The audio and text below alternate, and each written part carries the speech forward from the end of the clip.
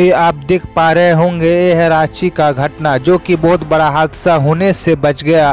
किस तरह से ये कार नियंत्रण खोकर अपनी साइड जाकर, लोगों को किस तरह से टक्कर मारकर बच गया। लेकिन बहुत बड़ा ये एक्सीडेंट हो सकता था, बहुत ही घायल हो सकते थे, लेकिन कुछ छोटी मोटी घायल हुए हैं और इस तरह से ये घटना हुआ है। ये है झारखंड के राजधानी रांची में ये ये घटना हुआ है। रांची के सड़क में ये है राजधानी रांची का घटना। तो ये घटना आप लोग देखिए कि किस तरह से ये बहुत बड़ा घटना होने से बाल बाल बच गए हैं। तो ये वीडियो पूरा आप लोग पहले देखिए।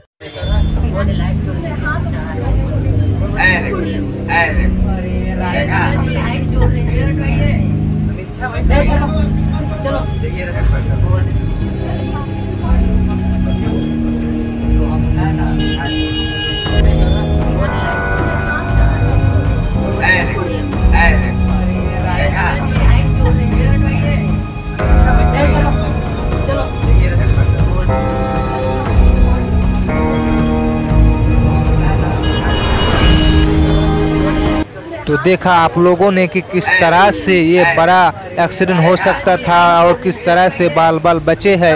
ये बहुत बड़ा घटना हो सकता था, लेकिन बच चुका है। लेकिन देखते हैं कि ये कार ड्राइवर को इसके ऊपर कुछ कानूनी कार्रवाई होता है या नहीं होता है तो यही था जानकारी देना आप लोगों को। तो जानकारी कैसा लगा नीचे कमेंट करके ज़रूर बताना।